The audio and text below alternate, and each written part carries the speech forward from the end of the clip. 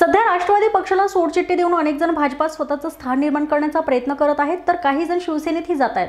यावर बोलताना राष्ट्रवादीतील आउटगोईंग हे परिवर्तन आहे असं मत राष्ट्रवादी काँग्रेसचे शिरूरचे खासदार अमोल कोल्हे यांनी व्यक्त केलं आहे पिंपरी चिंचवड महानगरपालिकेच्या आयुक्तांशी झालेल्या बैठकीनंतर ते पत्रकारांशी संवाद साधताना बोलत होते. आउटगोईंगला मी परिवर्तन असं म्हणतो. या घटनांमुळे राष्ट्रवादीचा कार्यकर्ता जिद्दीने पेटून उठला असून येणाऱ्या विधानसभा निवडणुकांमध्ये त्याचे परिणाम दिसून येतीलच. राज्यात वेगळे चित्र असेल शिवराज्य यात्रा ही नंतर सुचलेली नाही. काही जण अगोदर यात्रा काढतात आणि नंतर त्यात त्यांना मुख्यमंत्री करायचा आहे असा सूर निघतो. तर दुसऱ्या यात्रेत पुन्हा मी येईल असं मुख्यमंत्री म्हणत आहेत असं सांगून अमोल कोल्हे यांनी शिवसेना आणि भाजपवर टीकास्त्र सोडले यामध्ये काही संभ्रमाच्या गोष्टीत आयुक्तांनी त्यांच्या परीनं सहकार्याची भूमिका ठेवली. आयुक्तांनी त्यांच्या परीने उत्तरं देण्याचा प्रयत्न केला.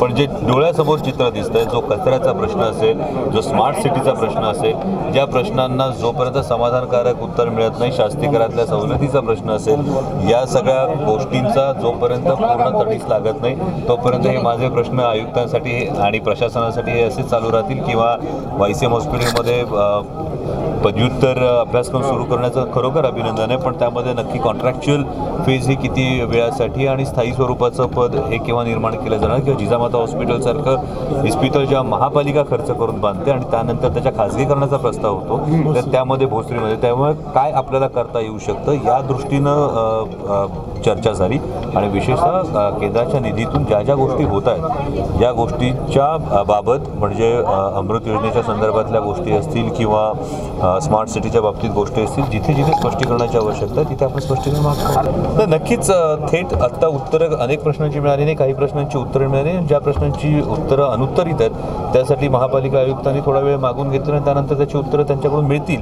अशी अपेक्षा जी उत्तरं मिळतील ती समोर ठेवली तिसरी शिवराज्य यात्रा मात्र महाराजांचा सर्वसामान्य मावळा काढतोय. जो या स्पर्धेत कुठल्याही नाही.